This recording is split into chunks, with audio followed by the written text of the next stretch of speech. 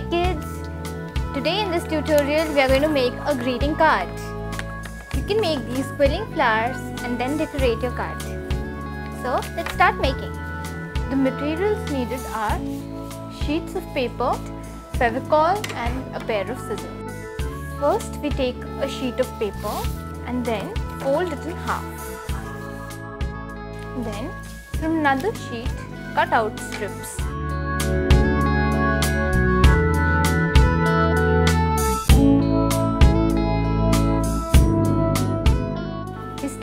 The strip from one end. Once we come halfway, we roll the other end as well. You have to do this with all the strips you have. You have to make at least 20 strips like this with different colors. Make 8 of each color. We have already made some strips like this in advance. Longer strips and put glue in the center. Place another strip right there.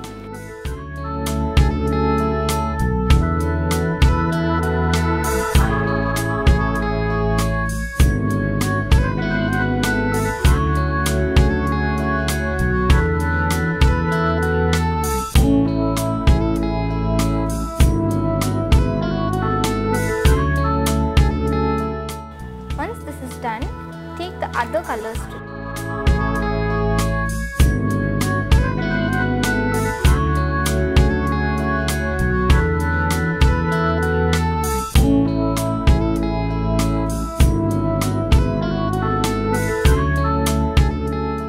You can repeat the colors or take a fresh color. I'm gonna take white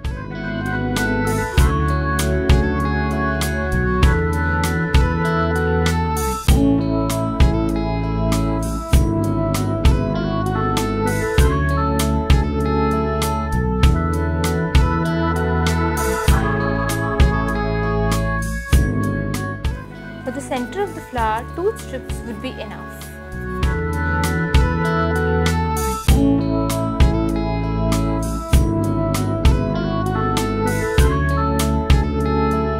Make some more flowers in the similar way.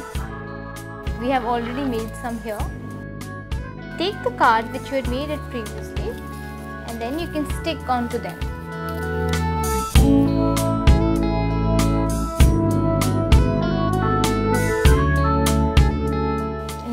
Card is ready, you can put some border if you want.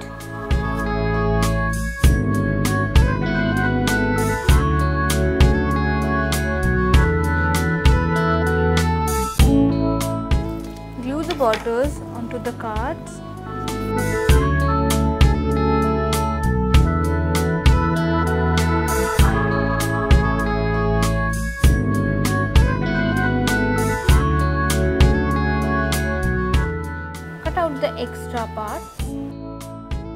And your paper flower card is ready.